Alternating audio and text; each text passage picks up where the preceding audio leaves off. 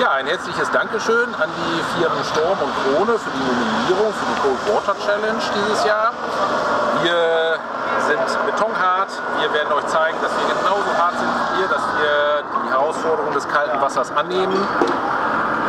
Wir werden also dann nachher unter uns hier weiter grillen. Ähm, nominieren werden wir die Firmen Kurze Zerspannungstechnik und Autohaus Luthermann für Cold Water Challenges. Freue mich darauf, mit euch zu grillen oder euer Video zu sehen. Besten Dank. Ach übrigens, wir sind gnädig. Ihr habt 72 Stunden Zeit für eure Aufgabe. Bis dann.